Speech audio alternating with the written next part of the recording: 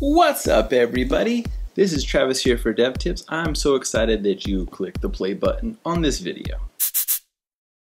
Last week we did a video about CSS floats and strangely enough I decided to put on some headphones and use what's called a speech jammer and it messed my awareness up of what I was saying and it maybe it was really funny maybe it was super annoying it was entertaining for me at least and so there you got a video about it but in the process of making the video I uh, stumbled past a few of the main points that I wanted to make in the video. So today we're going to make a video that touches all of those points. We're going to talk about CSS floats and some of the things to be aware of and how to use them properly.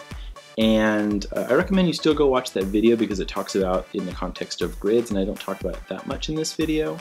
At least I'm not sure because I haven't done the video yet. We're to do that right now. Uh, so let's just jump right in. Right now we're looking at CodePen.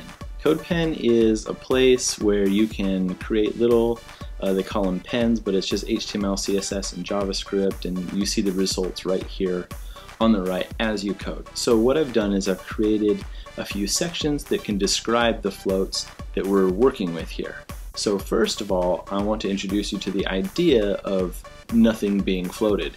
In this case, I have an, an image that's inside of the paragraph here, and it's not being floated, it's just chilling in line. And images are naturally in line, and so we notice that the the image just kind of acts as if it was a character in that string of text and just pushes the characters a little over to the right and makes room for itself. It sits on the baseline, but the, the text doesn't float around it or wrap around it as you might hope to do to receive this you know stylish um, float.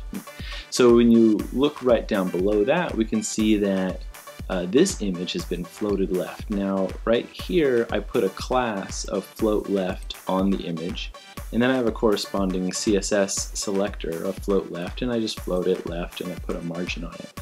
So the result of floating an object left within a paragraph is that the, the, the whole paragraph will wrap up around it. Let me show you some par okay you see the text below it there how it just wraps down below. That's because the image is not there anymore. And so this wrapping effect is a result of floating it left. Floating right is the exact same thing just the other way. So it floats right the image floats and wraps around it as you might expect. Now you can float two objects within a paragraph and here's an example of that. Um, now the interesting thing to point out in this case is that the DevTips logo or the DevTips avatar here is leading the float. And if I go to the markup, I see that the DevTips image is the front, the first one, and then this uh, image of my face is the second one. And they're both floating left. The DevTips logo goes left, and then the face, and then the text floated around it. And when they float right, you see the opposite is happening, but the but the logo, or rather the image that was named first, that's floated first and it comes first in the markup, is leading the float, meaning it floats right first, and then the Travis face, and then the text is floating around it. Now these are floated right, as you can see by the class of float right here. Let me scroll down a little bit more, and we can see that if you don't put words in a paragraph, I, I tinted the box, so here we have pink for the background of the container, this orange is the padding, and then I put red for the border so you can just see all the elements of this container and how it reacts to the image inside of it. If I have no text and no floats in this container, uh, it just acts like you might think it would. The image is inside of a box and nothing special is happening. Let me show you the markup for that. No words, no floats. We have a container and an image, and that's pretty simple. Next, I'm showing you a float left with no words. Now this image is this, it's the same markup as right up here, except for now I have a float left on the image. Now take a look at what's happening to its container. When you're floating an image inside of a parent container, remember how the text would just float up around it? Well, the same things that the same thing happens to its parent container. It just collapses. You see how it just floated right up there? So the image floats left and the parent collapses. If I had no padding and no border, the height of this uh, container element would be zero. It would basically not exist in terms of the space that it takes up. If you have a div, we know that a div, being a display element, a display block element, will stretch all the way across the screen. And But if you float it, look what happens here. I have this div and I floated it left and I put the class of sup on there because, because you know, sup. Uh, sup does, it just makes the font size there and black green so we can see what it, what it is. But what I want to show here is that the, that the floated element, uh, the size collapses. It's as small as it can be. So, so when you float an image, or sorry, when you float uh, an element like a div, it will naturally collapse as opposed to a, a, a block element which is naturally 100% width of its parent. So let's talk about when what happens when you have many floats. Um, I put a class on here called box wide. Let's see what box wide does. Box wide does a width of 100%. That's the key there. And now I see that I'm floating many objects and notice that they're not stacking one uh, to the left of the other. What they're doing is the float is wrapping down. When there's no space available to the right of an element if you're floating left and to the left of an element if you're floating right, if there's no space available, the next floated object will wrap down. Okay, and that's what these blue boxes are doing. They're just going down below. It looks as if they're just block level elements, but the truth is they're floating left with a width defined as 100%. Now this is an interesting thing to note because when you go into the next example here, I'm floating many objects and they, they, they form a grid, dot, dot, dot, dot, next line, dot, dot, dot, dot, dot, next line, dot, dot, dot, dot, dot. And they're all floated left, but they line up and when the when they've reached the end of the parent, watch what happens when I make this box bigger. See how they float right up into the available space? If there's no available space, they, they collapse down. Now this is a technique that's really important when we get into responsive web design. We can talk about that when, when the promised grid video comes out next week. The component of floated objects is that you can clear them. So we have floats here defined, and then I also have a clear class, and I'm clearing both. This last box here, this last box here has a, has a div or a, a class of clear on it. Now look at what happens every time. This area will not get taken up by this box.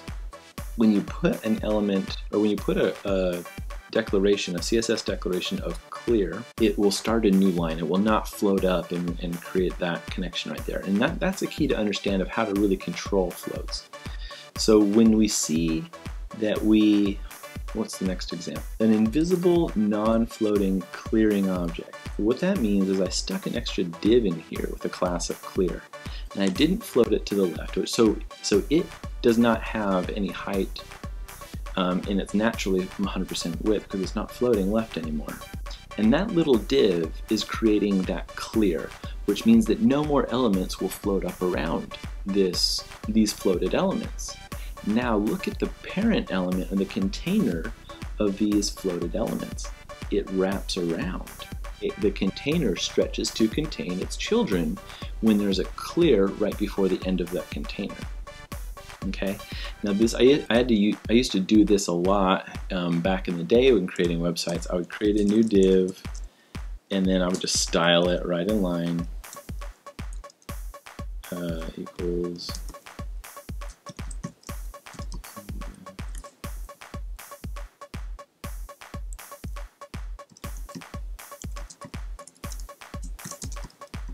I would do that a lot. And this little element would be my like little tool to clean up my floats. And that way like extra content in the next section wouldn't float up into these, this boxy area and get all messy. Well, there's been a really smart bunch of people and one of the most recent people to give this some, some brain activity is a guy named Nicolas Gallagher. Let me open up his, oh it opened up in mine. Uh, his website says that we have this clear fix hack and he, he really really smartly uses the pseudo classes of before and after to add those into the box. If you don't know what a pseudo class is, I'm not going to cover it today, but it's, it's a really cool and important um, thing you can do with CSS in, in modern uh, uh, website design, where it can actually add an element, an invisible element to the DOM. It's kind of called the shadow DOM, but anyhow, this element he sets to clear. So we don't have to add this extra weight to the markup like I used to do. And, and even this clearing object right here. If you can't get the elements to naturally clear themselves, this is an option to do this um, clear fix. So let me show you the code for that. He says if I add a clear fix class, then before and after, I'll add a, um, the content and make a display table. And then on the after one, I'll clear both, which is the same as this. So it's clearing it's creating a pseudo element after all of the floated elements and clearing it. And the result is that my, my uh, markup is really nice and clean here. I just have the container and then all of my floated objects. And then there's, there's an invisible guy being created right here. And um, that is what is floating, or sorry, that's what's clearing this whole box of, uh, the whole uh, mess of uh, floated objects. Okay, that is all I wanted to cover today. Clear your floats when you're done with them. It's kind of like picking up your room after you make a mess. And um, I'm gonna leave this CodePen up. My username is Travis Neilson. Check out this CodePen for the examples that I'm showing you today and uh, see you next week on Dev Tips. Thanks everybody for watching the video. If you enjoyed it, please share it with your friends, your colleagues, share it with your classmates, share it on your social networks and your Google Pluses and your Facebooks, share it on your LinkedIn's, and do all that stuff for me. I'm just trying to get this information out to as many people as I can because uh, the more people that know that uh, know about it, the more I you know can help and assist with what they're trying to accomplish.